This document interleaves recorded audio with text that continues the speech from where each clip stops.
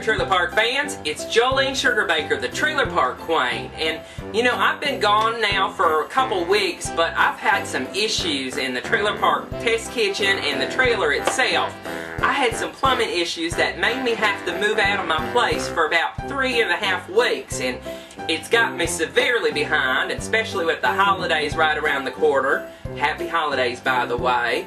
I'm gearing back up to bring out some brand new shows. There's tons of them in the line, coming down the pipeline. They'll be back real soon, so hang tight, leave a comment at the bottom, visit my website at jolenestrailerpark.com, and remember, I love you and I never go anywhere. You can always write me. I, will write back. It takes me a while. I get tons of email, but I, I do love you all, and I love to hear what you like to say and what you like to see in the future, so be sure to do that.